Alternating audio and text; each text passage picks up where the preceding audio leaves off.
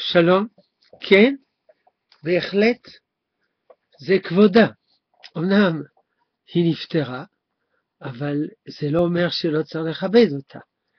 ואם היו שואלים אותה בחייה, בזה היא הייתה רוצה.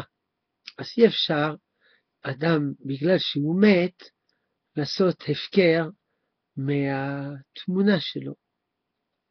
טוב, השם ירחם.